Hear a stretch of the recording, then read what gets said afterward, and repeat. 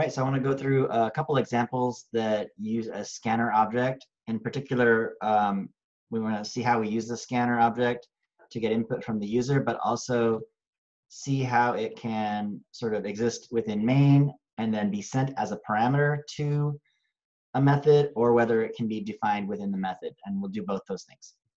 So um, here's the three methods we're going to do.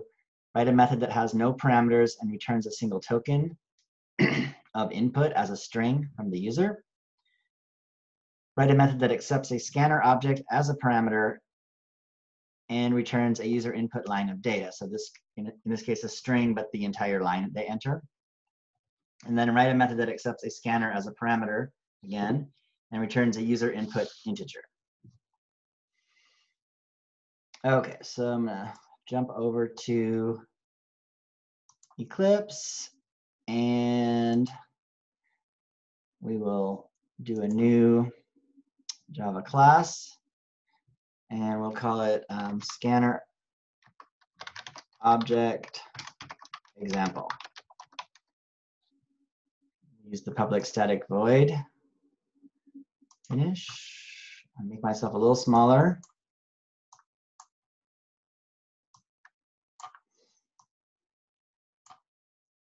Okay.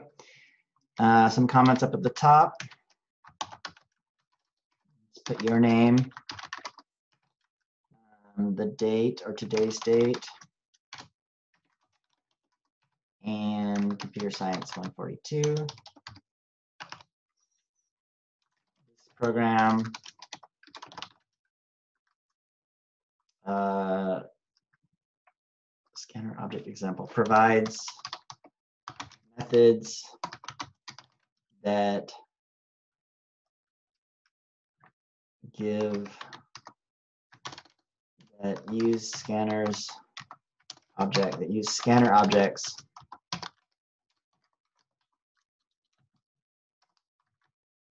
both as a parameter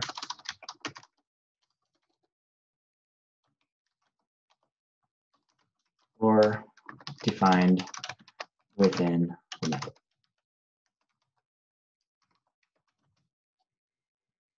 This program provides examples of methods that use scanner objects both as a parameter or as defined within the method. Yeah, that's pretty good. I didn't explain it that well, but that's okay. So when we use scanner objects, we need to import the Java utilities. Um, import, so if, if, we forget this, Eclipse will remind us or even do it, just do it for us. Java.utility, and I'm gonna dot star, which is everything in the utilities, which is fine. And then maybe we just say here, this is for the scanner. Unlike um, integers or um, doubles, scanners or strings are objects. They have both data and functions or methods attached to those objects, and so they're capitalized. Capital S for scanner, and you notice a string down here, there's a string type. Capital S is used for string as well. Okay, so in main, we're gonna do this first problem. Let's see what this first problem is.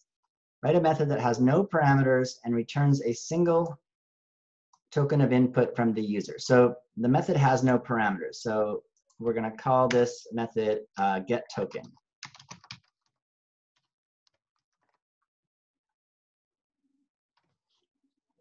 And then we haven't defined get token, so it's saying that I have an error. So I'm going to go down here and do public.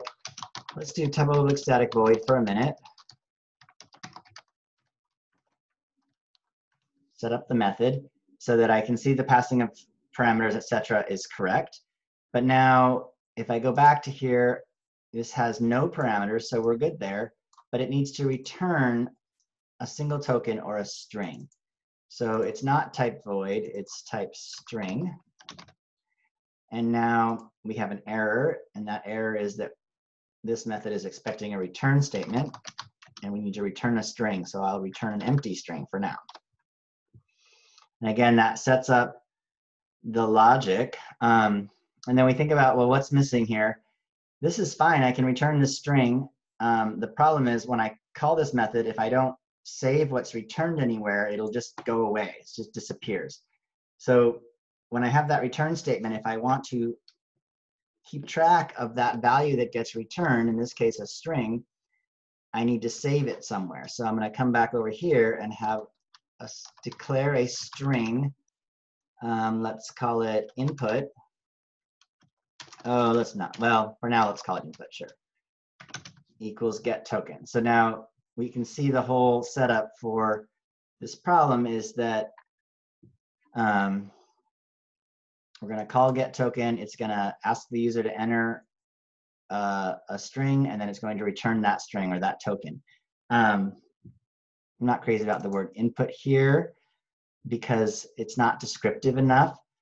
And we're going to have multiple inputs. We're going to do three of these functions. So um, rather than calling that input, let's call it, um, oh, let's see, I could just use lowercase token.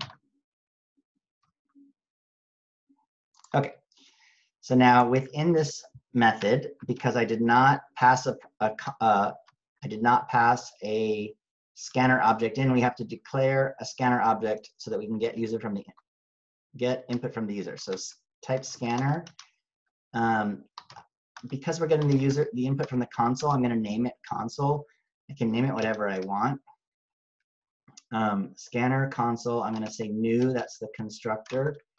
It's a new scanner and it's accessing the system.in in order to get the data. So that syntax is coming from either the text or the PowerPoint. You can look that up. Um, but there it is. Scanner console equals new scanner system dot in. Now, if I want to get input from the user, I should tell the user to put some input in. So that's a, that's a prompt or a print statement. SYSO control space will auto fill in the system.out.print line. And I'll tell the user to enter a word. I'm gonna, I like to put a colon and a space and maybe not use a print line, but just use a print statement. Um, this way, the word they enter will be right after that colon space. Uh, and then we'll use our scanner and we're going to save that word in like maybe a temporary location. So I need to give that a name, string, let's just call it temp equals, you know, it's temporary because I'm going to get it and then I'm going to return it back to main and it's going to be saved in token. So is going to be console dot next. And that's going to read the first token that the user enters and return it or and assign it to temp, excuse me. And then we want to return that variable temp. So you might try this. Let's run it and see what happens. And then you'll notice, okay, enter a word, John. It doesn't do anything, right? I mean, it worked. I got the word. I entered the word. But then what? Well, the then what is we didn't do anything with this token. So if we want to check if it worked, maybe we need a print line statement to print that token out.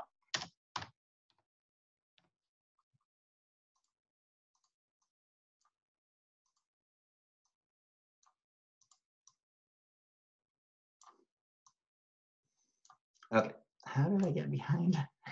I got behind somehow and I don't know how to fix it. All right, doesn't matter.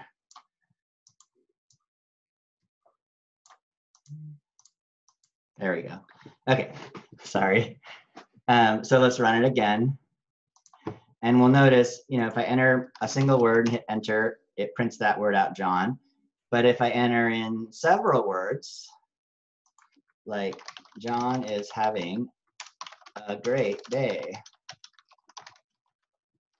hit enter, again, it's only going to read the first token, which is up to the white space, or up to the space. Um, in this case, the space is after the word John or the name John. Okay, so that console, that scanner was not passed in. Look, there's a little error here, a warning that says we never closed the scanner. Um, I'm just gonna leave it open for now. It's not a big deal. Um, the what happened, I did this program before, and when I closed it, it gave me an error in the next part. So I'm just going to leave it for now. It's not a big deal. Um, we're fine for now. Okay. But it's something you could look at at some point and say, okay, does that work? Uh, if we want to check that, I mean, we, we could close it right here. Console.close. And we'll notice that the warning symbol went away. And if we run it again, hello, it works. And you could run this a few times and try it. Um, I'm going to leave it there and you'll see that it creates an error in a minute. Okay, so the next part, and let's maybe, let's go above this function and just tell us what it does. So we'll just very quickly sort of say what this does. Method to, with no parameters that returns a single token. So method, no parameters that returns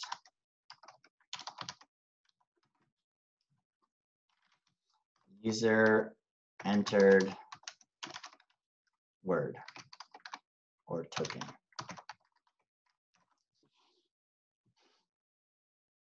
Okay, the next function, let's go ahead and go down here to is a method that accepts a parameter I'm sorry, accepts a scanner as a parameter and returns a line of input string. The string is going to be more than one token. It's going to be the entire line. Okay, so what do we want to call that method? Let's call that method. Let's again, let's just set it up public static you know, nothing wrong with sort of saying void in the beginning. Public static void, let's say get line. And what all I'm doing is sort of setting up a generic method header here. It's not correct, it's not permanent, but I want to come back to this guy and just invoke it. Get line. And so that part is set up and it's working. But now this says, oh, we want it to accept a parameter of a scanner object. So we're first going to need a scanner object back here in main. So I'm going to declare a scanner object. And I think I can just still use the word console. You know, it's just a name, so we could use, if you wanted to use the word input instead, we could do that. Scanner input is new scanner. And again, we're getting it from system.in. And the only reason I used the word input is to not confuse us from the other word console that I've used here. Um, it, it wouldn't matter because the scope is different, but in some cases it's better to you know restrict your scope. So now when we call this method getLine, we really should be calling it with the scanner input because it says we want it to have a parameter. So in this function header, I need to have a scanner type here, and, and then here I might switch it back to console. So like Downstairs, I'll call the console input. And then up in these methods, I can call it console each time. See what happens. Okay, and then again, this should not be void. This should return a string. You know, and when you do this initially, you can just declare it as a string. You don't have to say void first. But notice it creates an error, and I, I don't I don't want to have a bunch of errors at once. I want to have errors that I can resolve one at a time. So this error is coming because I'm not returning anything. So I can return an empty string and then that resolves that error, that syntax error. And then I can go back up here. If I don't assign that string somewhere, it's just, it's going to return it, but it's not going to save it anywhere. So this, this object, this get line is a method that we're calling. And once it gets called, this becomes a string. Okay, this is a type string. That's what it says when we're doing this string here. Get line is a string or is returning a string, but we didn't save this string anywhere. So if I want to save it, I have to, well, have a place to save it. So I'll call it string line equals get line. And then similar to the last problem, if we want to see what happens, I would need to print that line out.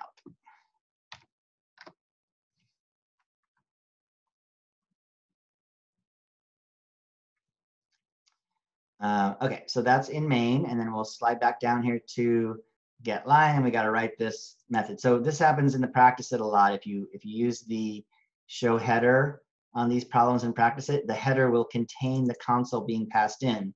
So now I don't have to declare it. I now have to use it.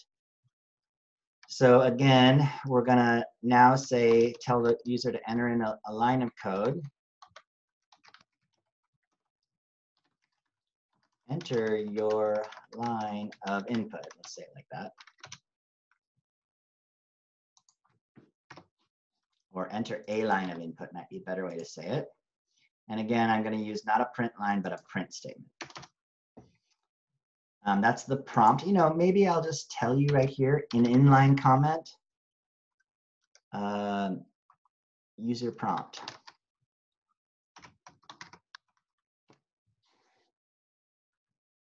That up here as well. You wouldn't need to do this everywhere. Th this statement is just for us as a class. So like you understand as a class why I'm putting this in there. And then as you learn it, you no longer need that comment. So like you don't need to put that comment in the code. This is this is code for us as a class to understand what we're doing, why we're doing certain things. So this line of code is the user prompt. Um, if I were using code somewhere else, the person who comes along and reads this is going to know that's the prompt. You don't have to tell them it's the prompt. So the other reason you have we have commenting um, is for the person who comes along and reads it. So this commenting is sort of like that, but this is a combination of for the person who comes along and reads it, but also for us as a class. Normally, you wouldn't say the method accepts a scanner as a parameter because we can see that right here. So I'm putting that first line of code in there that tells you um, that's the point of this method. It's really to passing of the parameter and then and then using that using that console. Okay, so now same thing. I want to save this. So system out, and I, I can actually just use the same, um, sorry, string. I can actually just use the same variable name, string temp, because I'm just using it right here, and I'm going to have it equal uh, console dot, we're going to use next again, but we're going to use next line. So you can scroll down here to find it. Maybe not. Next. There it is, next line. Um, and that's going to read in the entire line of data, and then we can return it, similar to the last function. So the difference here is that the console is being passed in, as opposed to the previous example where the console was defined within the method itself. So maybe if we look at a little bit or better spacing, in this previous example, here's the console being defined, here's where we're getting our data from the user, first with the prompt, and then getting the data. Then we're closing that console, then we're returning temp. I think I'm gonna get an error, but let's see what happens. Enter the word, hello. Ah, so I got this error. And so, you know, I'm not entirely sure, but I, I know this error is coming from this closing statement here. I know that because I, I ran it before. Um, you know, does it say something about that? It says, uh, no such element. It, it, it's, it's trying to read too much, and it has to do with us closing this. So if I just take this line of code out, actually, let me undo that for a second. Let's try it, just comment it out and see what happens.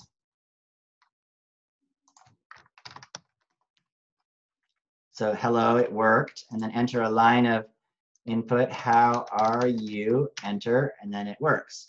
So it is that closing that's causing the error. One question one might ask is, what if I named this console something else? What if I called this console one? Would it work? And I'm not sure. So that's why I wanted to try it. I don't think so. I think it's still going to give me an error. Yep, still gives me an error. Um, I'll have to look into why. I'm not 100% sure. Um, so comment this back out and actually let's just delete that line out. And we'll take these ones out of here. And we'll just use console and it works. So we'll run it again. Um, if I don't close that console, then enter, enter in a single word for the first one, enter in a line of input for the second one. It's all good. Um, you know, nothing wrong with providing this white space in here, especially if you're learning. There's also nothing wrong with doing the same thing without any white space within the method. Both are perfectly acceptable and are good. What you don't want is a bunch of extra white space. So you don't really want that space. Um, again, in main, this kind of makes sense. Here's the first set of function things. Here's the second set of function things. Now we have a third set of function things, which is very similar to the last one. It says, write a method that accepts the scanner as a parameter and reach, so again, it accepts a scanner as a parameter and returns a user input integer. So it's returning an integer. We'll call the method get integer and we want to send it the scanner. I'm going to send it the same scanner input. And we have an error, so that's error has to do with I didn't define the method. So we'll come down here and we'll go public static. I could type void initially, or I could type integer here. Let, let's let me show you. Know, if I type if I type void initially, and then I just give it its name, get integer. So notice if, if I, by, by putting the scanner in initially up here, I have multiple errors going on. If I take this out for a minute, and I just set up the function header as void, then I at least know that the call, the function call works without any parameters. So then I might say, okay, now let's put input in here. And then we need to put the type of object that's coming in is a scanner, and we're going to call it again console. And it resolves that error. Then I'm going to change this void to integer. And now I have an error because I haven't returned anything. And I'm going to set up the return value and we'll return a value. Notice if I try 0, 0.0, still going to have an error because 0, 0.0 is a double. So we have to return an integer, we'll return 0. Perfect. Now, this is exactly like the previous one that we just did because it's it, everything's the same except instead of reading next line, we're going to read next integer, and instead of it being a string, it's going to be an integer. So I could just copy that code, or I could type it in again. Nothing wrong with typing it again, especially if you know the practice is useful. So I'm going to do a print statement, not a print line. And I have an extra close parenthesis here, so I'm going to print the prompt for the user, enter an integer, colon space. Um, those are little things that are nice. You know, if you don't have the space, let's see what it looks like, and I'll show you why I put it in there. And then it's an integer. Again, we can use the word temp. You know, it's sort of a temporary storage location. Console dot next int. And then we could return that temp. No errors, let's run it. Hello, my name is John. Seven. So notice no errors, um, but it didn't print the seven out. So we'd have to go back up to main and we'd want to print the seven. So let's see, where's main's up here? So we'd want to print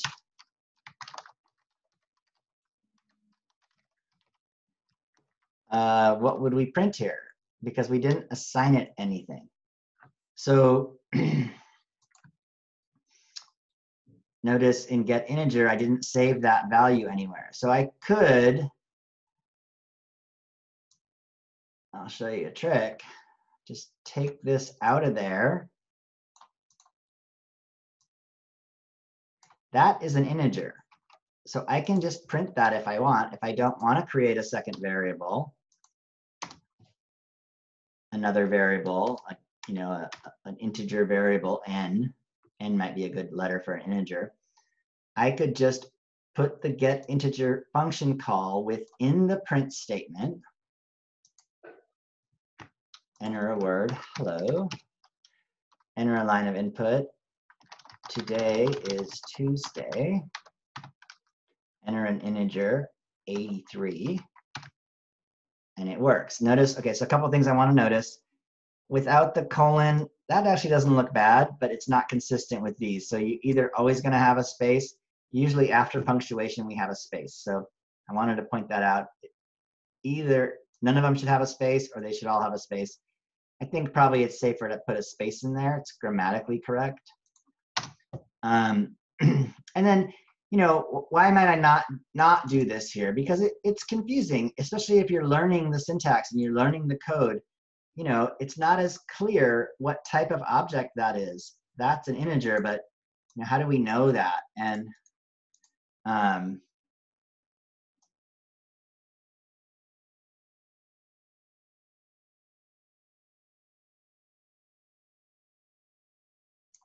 I hope I haven't been muted this whole time. This is actually the second time I'm making this video. Um, um, the joy of online instruction. So uh, hopefully I wasn't muted for too long. Um, I think I just hit the button. So, you know, this is a little bit dangerous because it doesn't tell you what's going on as well. So, you know, I, especially initially, we probably don't want to do that. We probably want to cut this out of here and we want to declare an integer. Let's call it, uh, let's call it n. n is a very nice letter to use as an integer. And then I'll paste it in here, get integer input. Usually in coding, we don't want to use things like x and y. Um, they're not clear enough. They're not descriptive enough. But n as an integer, n and m would be integers normally. And then we would print line this n. And that kind of keeps in, in, in um, accordance with the rest of this main, you know, it, it, it lines up the same. I noticed a few people sort of in the projects were, let's just double check that everything's working. John Toutonghi, and then uh, enter an integer 87. There it is, we're good to go. I noticed in a couple of the projects, um, there's this desire to not have any uh, to make everything a function call. It, it doesn't need to be that way. Main can contain and will contain some logic. So like, actually here that everything is a function call. These print line statements, this is a function call. It's using system.out and then it's using a method of that system, the print line method to do something and print the print something onto the onto the console. So we don't need a separate method to do just that. It already is a method. So I don't know if that's making sense, but let's see if I have everything tightened down. I can get rid of this white space. Um, notice I don't, I don't generally comment above main. The, the commenting above main is this commenting. Main is going to do what the program is doing. You might comment within main, but you don't need to comment above main, if that makes sense. And then within main, we could comment in here. I don't know what we would comment on. Um, you know, you might comment that two I don't know, two of the methods are passing a, a parameter of the scanner and one is not. But that's that's what I'm basically showing here is that if the scanner is only going to be used within the method, we can put it in there, like we did here for our first method, get token. But if we're going to be using the scanner in multiple occurrences, it might make more sense to just define one scanner in main, like we did here with input, and then pass it as a parameter to each of the methods. And it depends on what we're doing. It depends on the context. So both are fine. Um, it depends on context. I think on the homework, the methods that they have you writing and practice it, the scanner is coming in as a parameter and it says that in the instruction set. So it'll say something like the method that accepts this, something like this, accepts scanner as a parameter. Okay, and I'm just double checking my white space. There's an extra one there. I'll crank it out and everything else looks good. Try to make this a little bigger, see if we can get it all on screen at the same time. Uh, that's nice if you want to pause it, or also you can just take the code that's online. Uh, I don't think I showed us how to do that. Um, when you take code off online, you then can just drag it into the package um, into uh, Eclipse. So if I if I grab this code on Canvas and you download it, then just go to your downloads folder and grab the .java file and drag it over into your source code folder or your default package and drop it, and it'll just be there in Eclipse for you to open it up. Um, maybe I'll show you that somewhere else, or you could try it see what happens. All right, so no, I can't fit it all on one screen, but we didn't put any commenting above this third one, so maybe I'll just copy the previous comment, paste it in and say number three, method that accepts a scanner as a parameter and returns a user entered user input integer. And I don't need to say it's type integer because that's kind of obvious. Um, notice also the comment there means if we don't want that white space, we could take it out because the comment is providing the space in a sense between the two methods. All right, good.